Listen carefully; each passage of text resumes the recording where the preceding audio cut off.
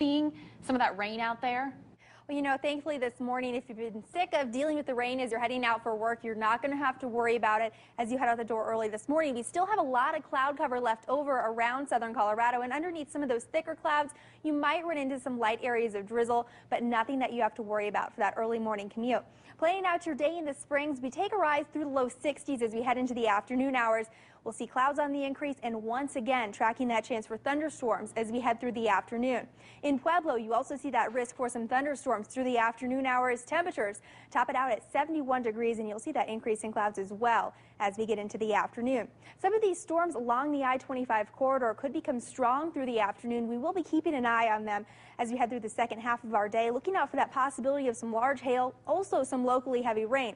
Not a huge concern with flash flooding this afternoon as these storms will be on the move. But again, we are keeping in mind that risk for some strong to even severe storms, especially as we head out to the east of Colorado Springs. And Chief Meteorologist Brian Bledsoe will be in later on this afternoon, keeping a very close eye on those thunderstorms. I'll break down what the rest of the afternoon and evening hours looks like and that weekend forecast looking pretty stormy in a few minutes. For now, we'll send it over to JB with a look at the roads.